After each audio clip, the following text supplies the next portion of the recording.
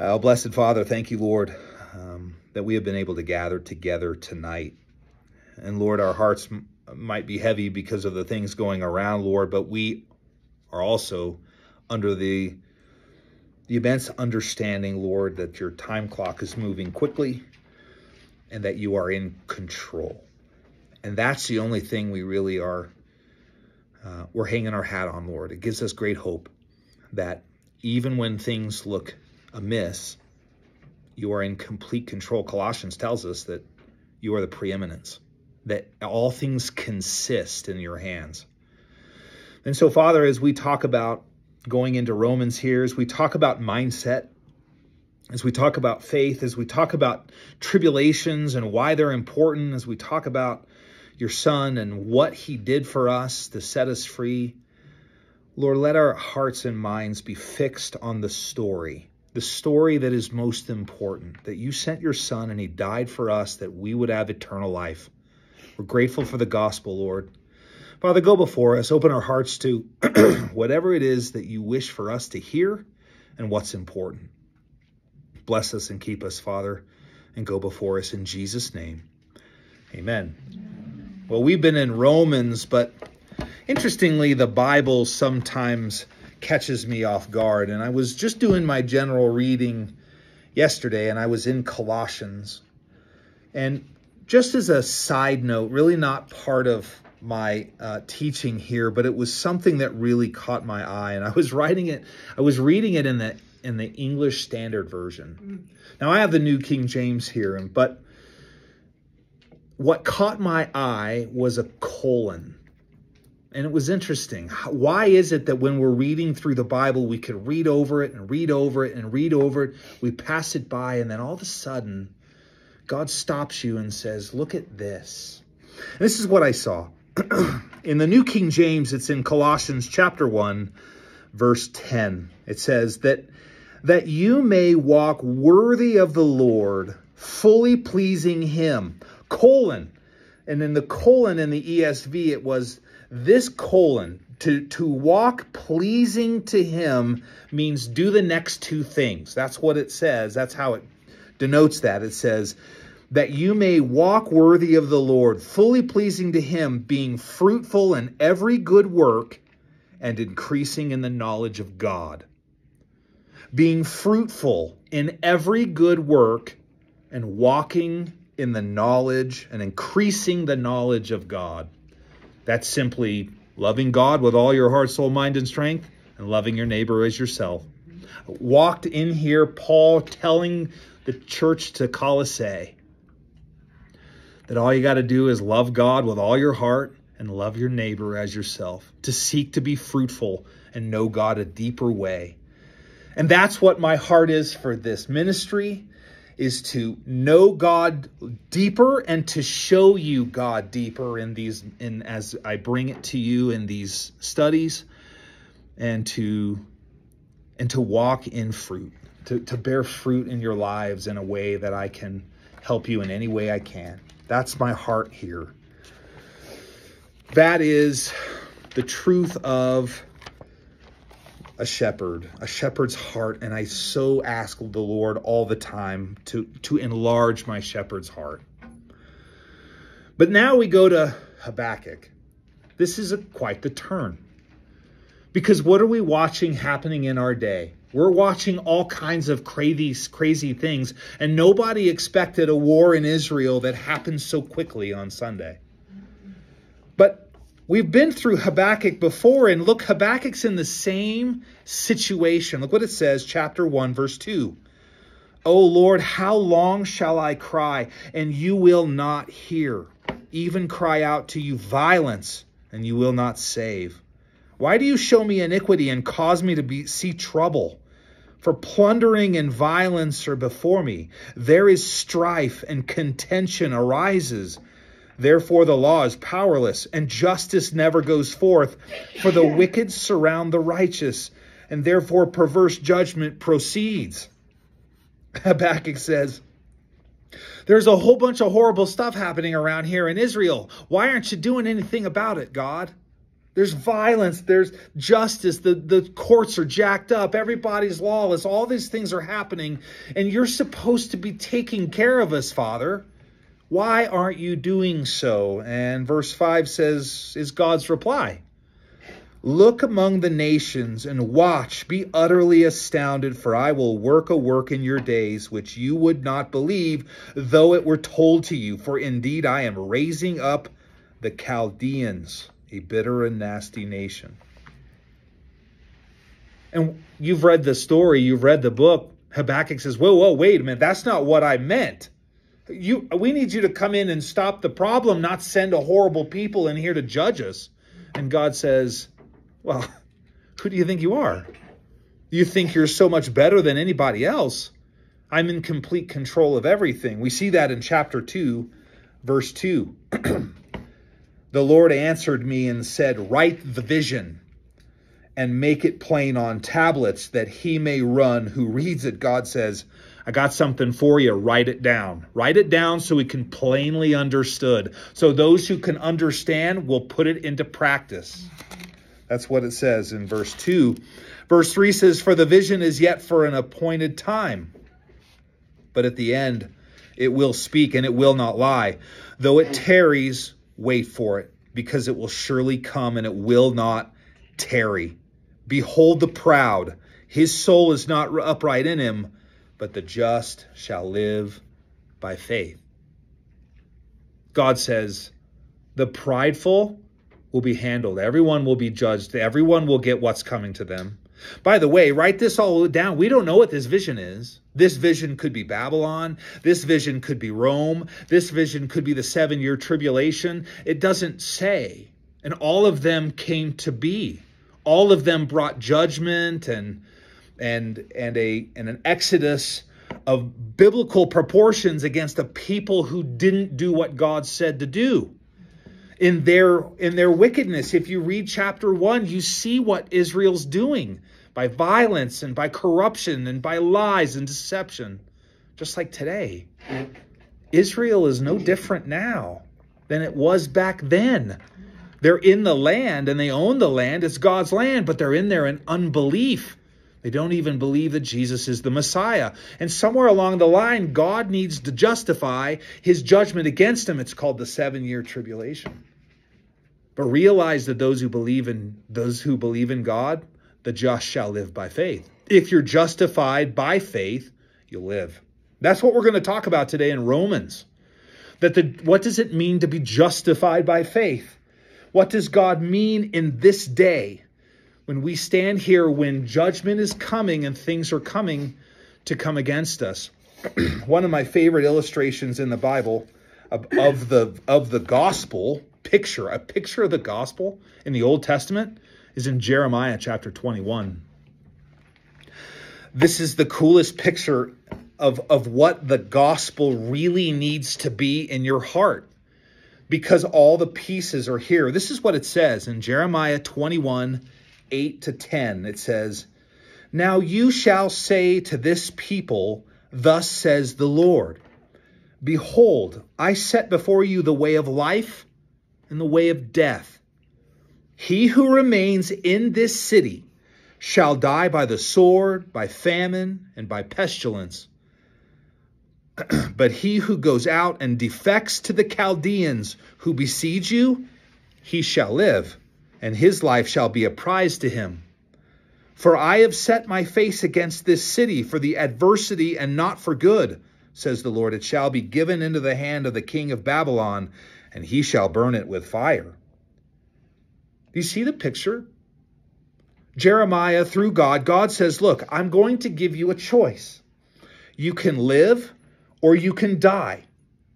If you stay in this city, that is the world, if you stay in this city, you will die by pestilence or famine or sword. That sounds like the four horsemen. Judgment's coming.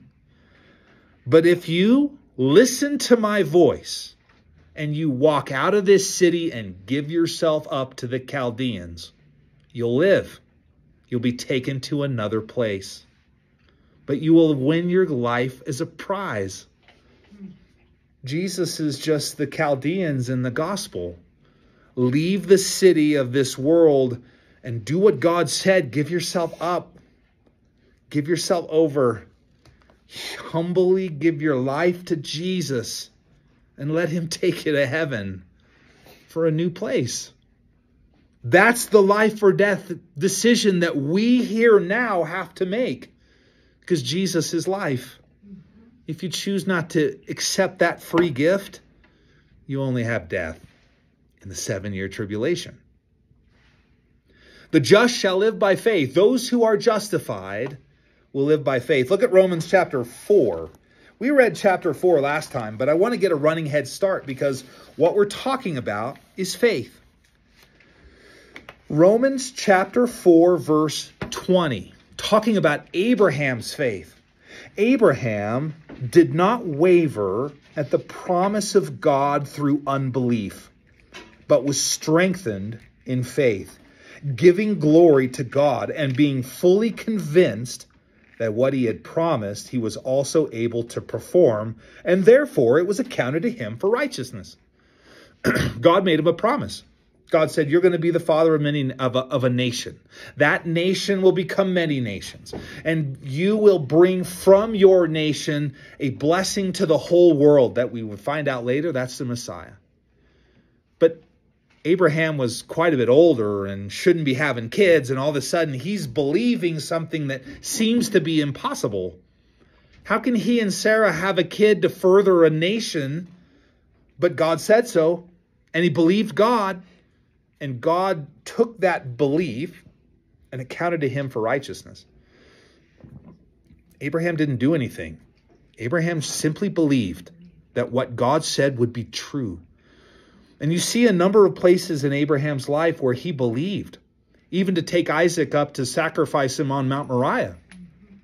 If you read in Hebrews, he said he said he believed that even if he had to sacrifice Isaac, God would bring him back to life because he believed so wholeheartedly in the promise that God had given him that he was going to be the father of a nation that he didn't waver.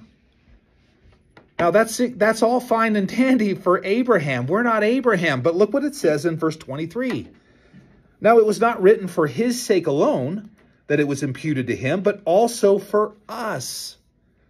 It shall be imputed to us who believe in him who raised up Jesus our Lord from the dead, who was delivered up because of the offenses and was raised because of our justifications.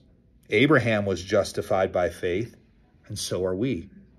Now, Abraham was justified by believing that God was going to make him a nation. We're justified by believing that God sent his only son to die for us so that we would have eternal life.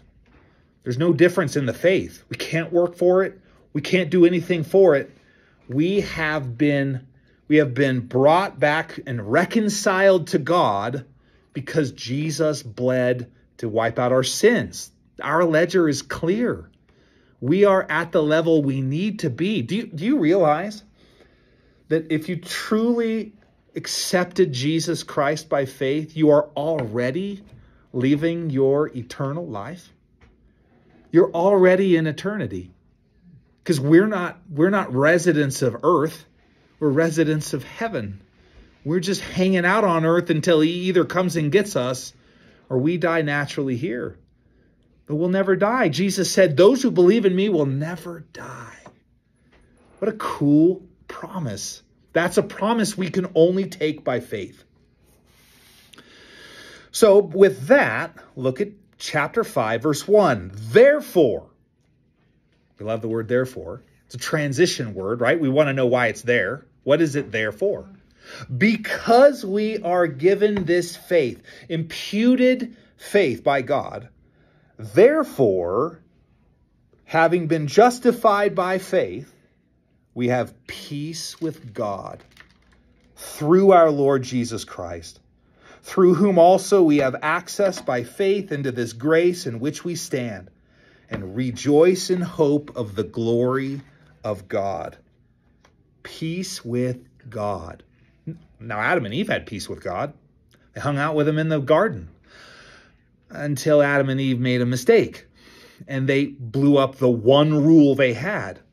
And then they were at enmity with God. They had there was a chasm between God and man because God is just and a sinful man cannot do anything about it. But we see there in chapter 3 of Genesis a promise God makes to the serpent that he will show, he will make right this problem. That, that's what we have. We haven't been at peace until Jesus. When Jesus died, we were made at peace again if you accept Christ as your Savior. He gives us this access to this faith. We, we stand in grace given to us through Jesus Christ. Now, why I bring this up, this peace with God issue up, is because we are at peace with God, being believers in Christ. We are reconciled and we are at a level where God can then convene with us again. We have eternal life. God is not an enemy to us. Why this is important is because when we start to see tribulations happen against us, if we're not careful and we don't realize that God is at peace with us, we may start to have the wrong idea.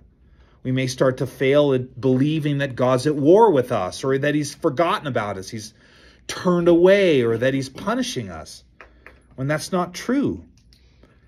See, tribulation is good. God uses it. It says so in Romans chapter 8, verse 28. We know that all things work together for good of those who love God, to those who are called according to his purpose. Well, you're not called unless you're saved. If you're saved and you love God, then your life is given over to Him, a bondservant, a doulos. We like to use that word. And now we stand in a place where we're at peace with God. So everything that happens to you has a good outcome, regardless of how bad it is. This is a paradigm we need to understand because we're about to walk into a time period when it could get really hard. But we are at peace with God. And so everything that God allows to happen to us will be beneficial in the end. It won't feel like it. It doesn't feel like it. The things that I'm dealing with now don't feel good.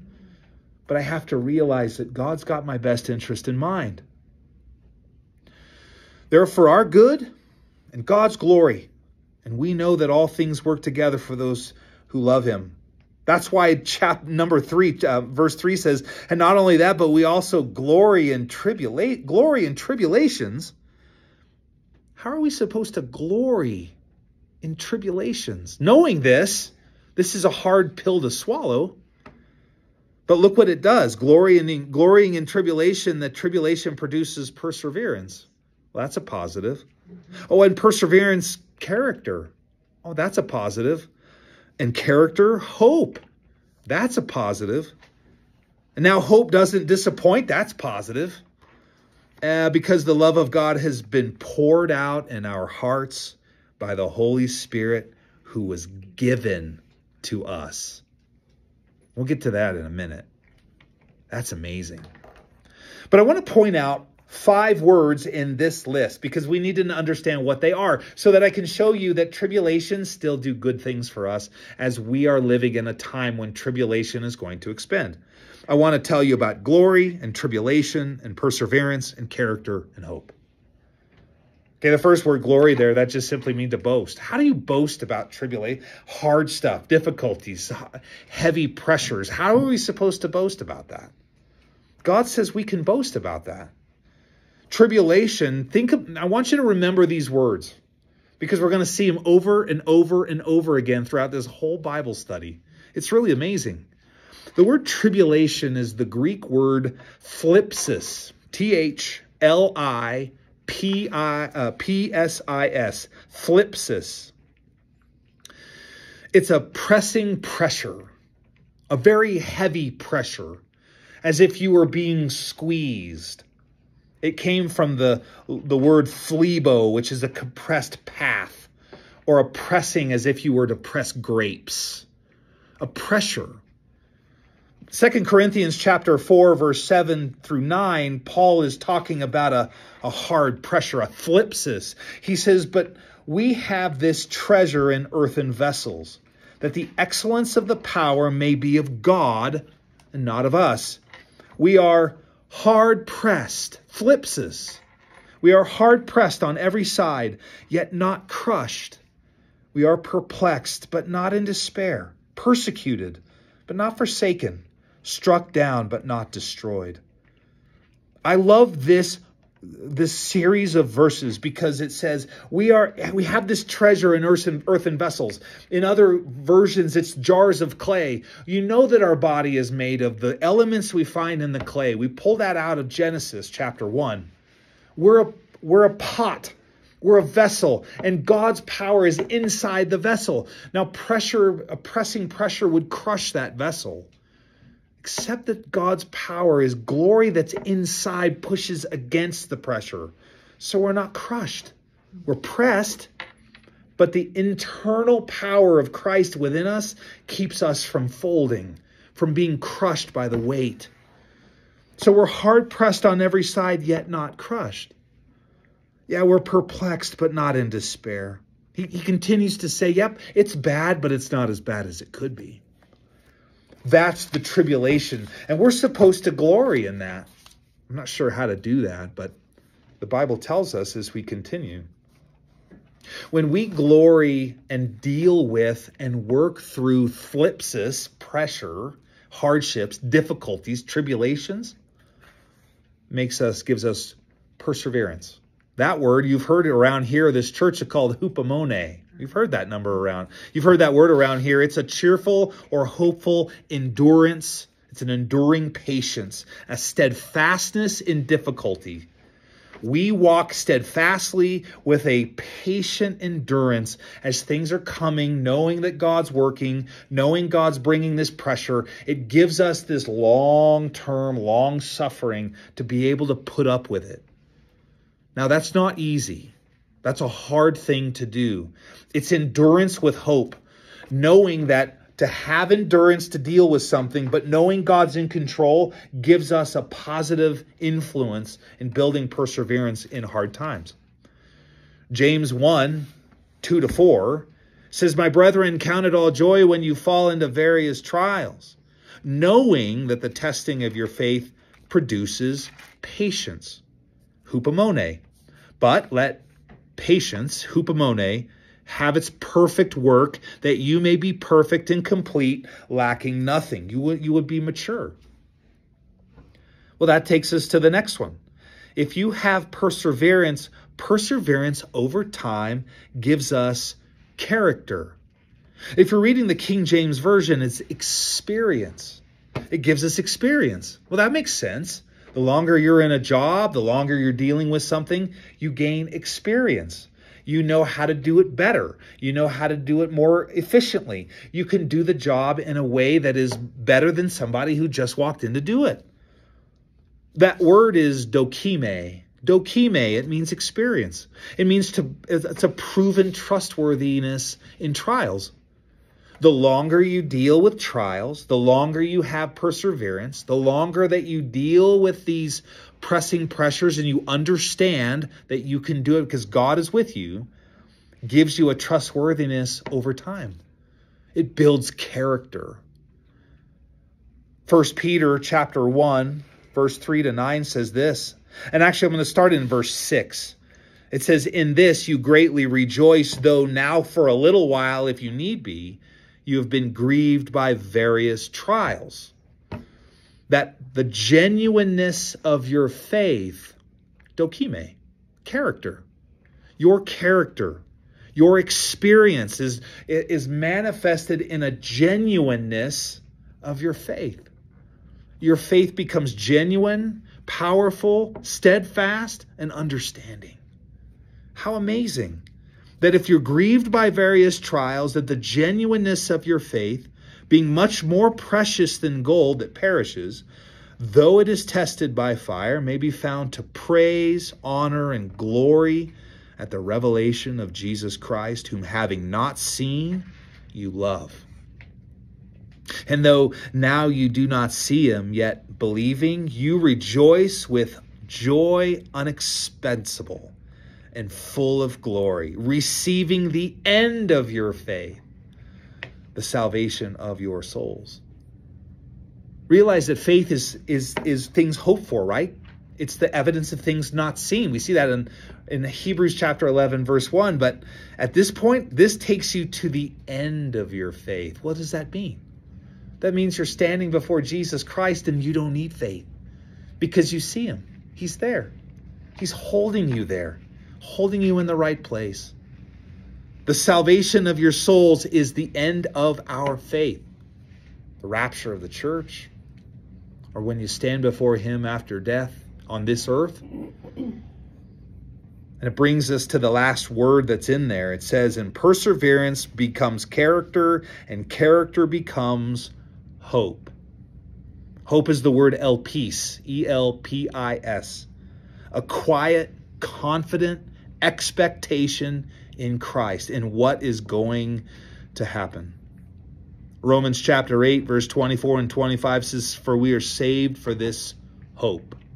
But hope that is seen is not hope, for why does one still hope for what he sees? I don't need to hope in Jesus Christ if he's standing in front of me. He's there. I'm built in this hope. This hope is something I'm waiting. Blessed, it's the blessed hope in Titus chapter 2 verse 13. But I don't have to hope for him anymore. I don't have to have faith in Jesus anymore when I see him because I know he's real. I'm standing before him.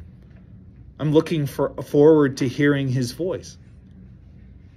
And as I've said on a number of occasions on this, I like that ver- the, the verse in First John chapter 2, the end of chapter 2 that says just make sure I'll read it because this is this it just sticks to me. It sticks with me all the time. It's in First John chapter 2 verse 28. It says, "And now little children abide in him that when he appears, we may have confidence and not be ashamed before him at his coming." You need to live a life in hope we need to live a life of character. We need to live a life that gives us this, this uh, understanding of what's coming so that we persevere in our life. We, we work through perseverance waiting for his coming. And that what we're doing and saying and thinking and how we're acting, how we're doing right, we want to be fruitful in the things that we do and be getting deeper into the knowledge of God, those things that please God in Colossians chapter 1, like I started with. When we're doing that, we won't be ashamed when Jesus stands before us because there's a one on one conversation with him coming. We see that in Revelation. But do you see why this is important to be at peace with God? Because if you're at enmity, none of this makes sense. Now all of a sudden you're being attacked and you're at war and he's he, he maybe he's turned his he's gone. I don't hear him. He's not gone. He's not. He's the promises of God are here. When we live at peace with God, all that stuff that happens to us has a value to it. Look at the condition of man in the world. Look at the condition of the things that are happening even in the Middle East right now, or even Ukraine, or in Africa. The Bible tells us in chapter 24 of Matthew that that that there's going to be kingdom against kingdom and nation against nation, trials and troubles and earthquakes. You realize there was 600 some earthquakes that happened on the day Israel was invaded.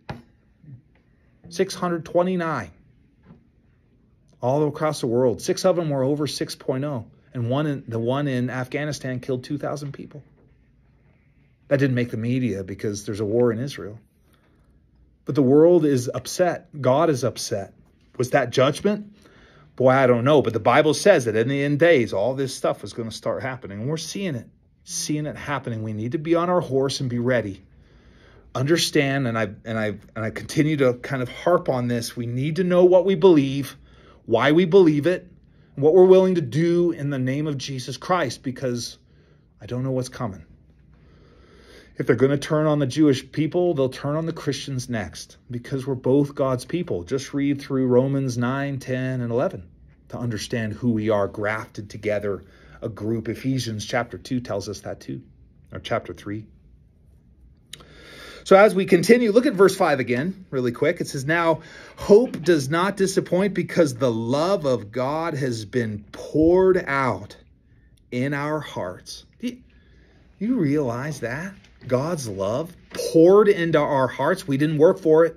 We didn't earn it. We didn't do anything about it. He poured it in our heart by the Holy Spirit who was given to us.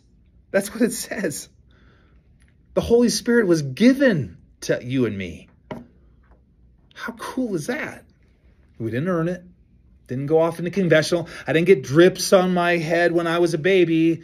I wasn't can't get it by baptism, can't get it by circumcision, can't get it by going into a confessional booth and telling a man on the other side of the screen that I've done something wrong. It's given to me by faith. The Holy Spirit, a gift. Why? Why do you think God did that? Why did Jesus give us the helper? Matthew chapter 26, verse 40 and 41 says, well, then he came to the disciples and he found them sleeping and he said to Peter, "What could you you couldn't watch with me one hour? Watch and pray lest you enter into temptation. The spirit indeed is willing, but the flesh is weak." Jesus knew that our body was we couldn't do it on our own. The spirit wants to do what we want to do, but our flesh can't. And at this point Jesus is alive, the helper hadn't been sent. But look what it says in John chapter 16, verse 12 to 14. It says, I still have many things to say to you, but you cannot bear them now. However, when he, the Spirit of truth, has come, he will guide you into all truth. For he will not speak on his own authority, but whatever he hears, he will speak, and he will tell you things to come.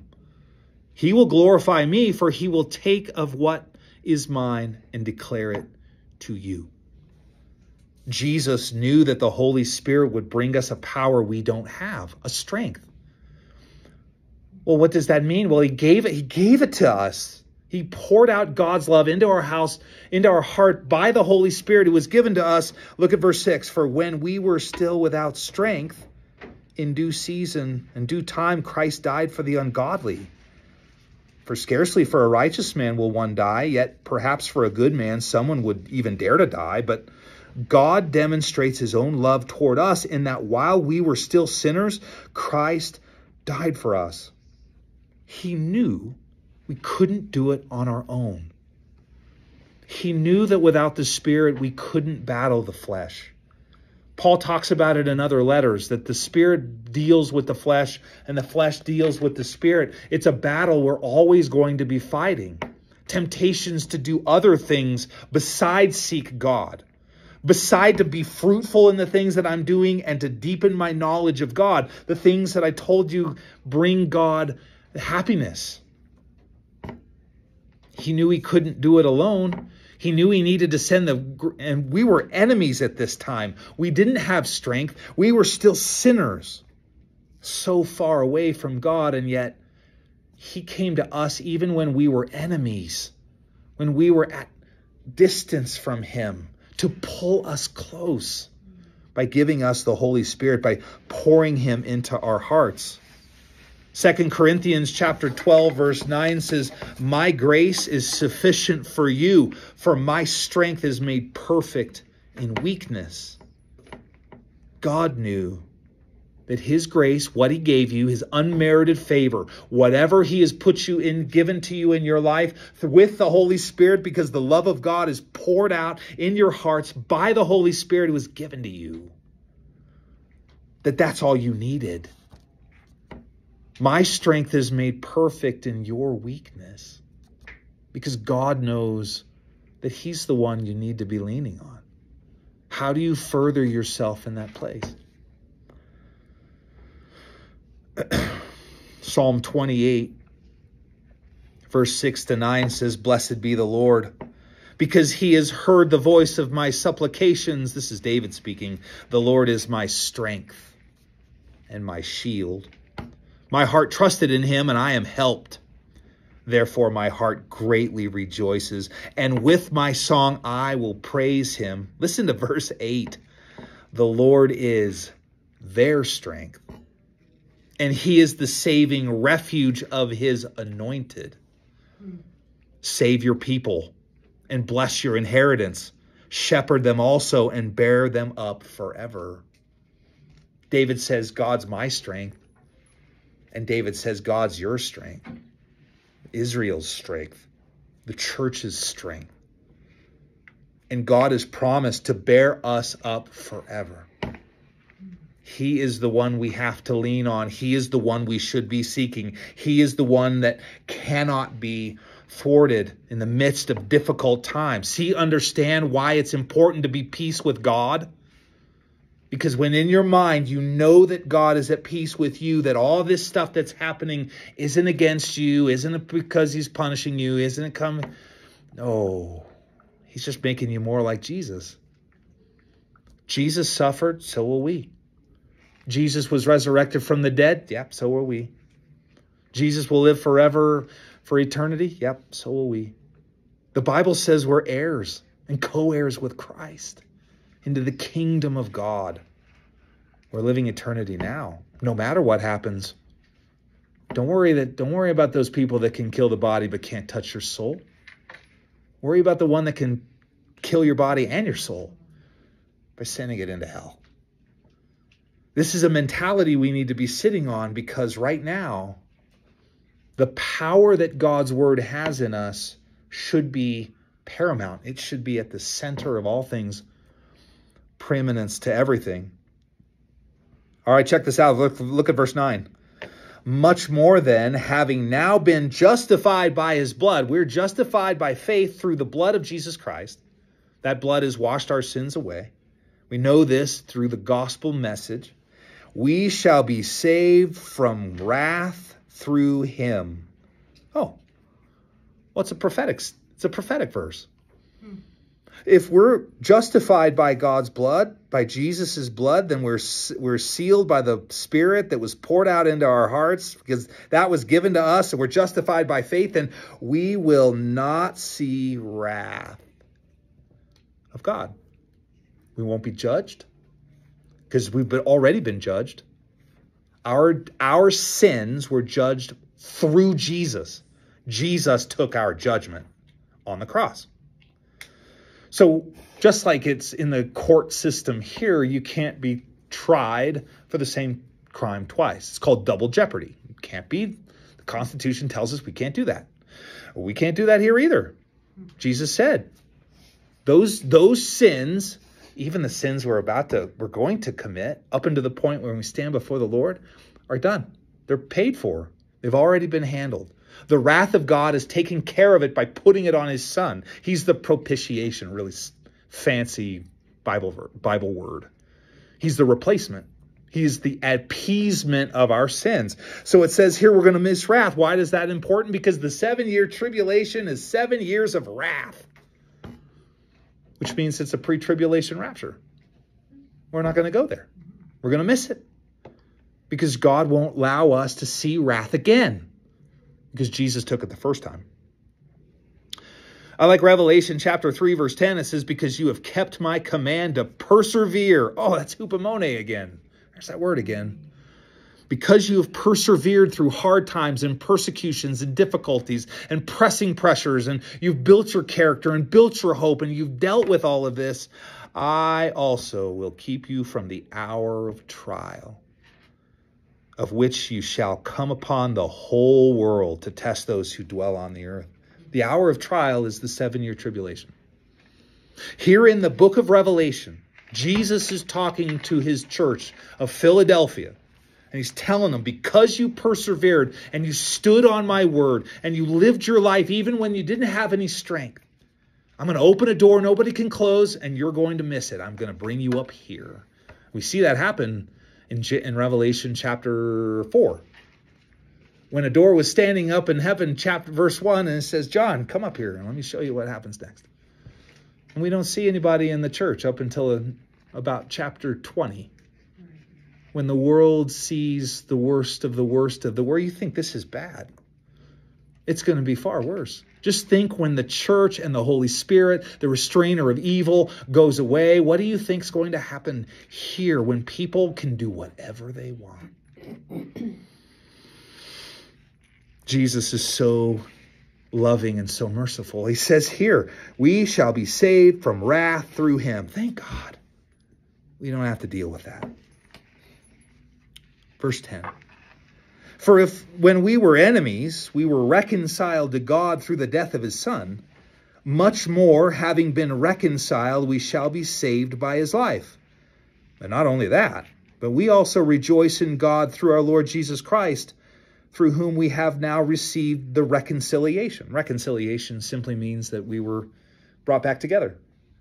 We sinned and we our sin had made this big chasm of space because we can't be a part of that issue. We can't be a part of a, a just God. He cannot he can't brush our sins under the rug and let him go. He can't. He's a just he's a just God, which means our sins must be paid for. So you have your choice. Believe in Jesus Christ. It says here, Jesus Christ has brought us to this reconciliation because he died on his blood. Believe in Jesus. We're reconciled to God because our sins are gone. We're no longer a rebellion. A re, we're, not, we're not. We are no longer in rebellion. Or you can do it on your own, and you can go up and you can tell God that you are a good person and that you did everything perfectly right and you fail to read this Bible and you fail to seek it to understand him deeper and you see you fail to see the value that the that what understanding what Jesus has done and you can you can take the punishment that you deserve. I'm going to close with John 16, 33. And I wrote it in the amplified version because it throws a bunch of extra words in there, and that's pretty cool. But this is what it says. It says, I have told you these things so that in me you may have perfect peace and confidence. In the world you have tribulation. Ah, that thlipsis again. There's that pressing pressure again. Jesus speaking the same words we've been talking about. In the world, you'll have tribulations and trials and distresses and frustrations, but be of good cheer. Take courage, be confident, certain, and undaunted. For I have overcome the world. I have deprived it of power to harm you and have conquered it for you. We need to be at peace with God. We need to be at peace with the Savior. Because all the stuff that happens is just making us better, just making us stronger, giving us character, perseverance, character, hope, hope in a Christ that's given us the Holy Spirit. We cannot lose. We are living in eternity already, and a best is yet to come. So we're going to circle back to peace with God. See, when the mentality in hard times is important, we need to keep our mentality fixed on the things that are going on now. We need to we need to hold tight to this because I saw things today. I don't know if they're true. There's a lot of propaganda. Now you're reading the there was a, a, a report that came out that Trump said something that was anti-Israel, and then we find out that it's a complete fabrication. So now you don't know if AI is involved. You don't know who's lying. You don't know where it is coming from. Get in the Bible. Seek the Bible and the truth here. That's the only place we can count on it and be ready for the end. Amen? Amen. Amen. Father, thank you, Lord, for your wonderful word. It's so powerful in a time when things are getting harder. Lord, but we have you.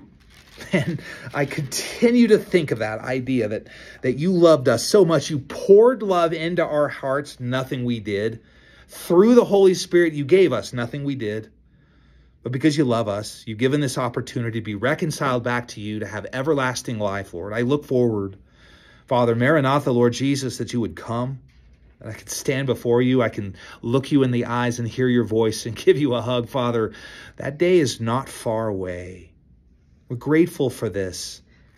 Father, we pray a special prayer for Israel, the peace of Jerusalem. Psalm 122 6 tells us to pray for the peace of Jerusalem, that peace for them and their companions would come upon us. You would bring us blessings. Father, I don't know what's up next, but you're moving in your time frame, doing your thing. You've told us about it. We're ready for it. Doesn't make it easier, Lord, but we have you to walk with us. And we know that there is no one else that can help us, take care of us, be merciful, be gracious to us. Habakkuk learned it as he's dealing with you earlier in the book when he said, Lord, I don't know what you're doing. I don't understand why you're doing it this way. And he said, just write the vision. It's going to happen. It may be delayed, but it's coming. But the just shall live by faith. Father, we're grateful. Go before us. Keep us safe, be our rear guard. We love you. It's in Jesus' name. Amen.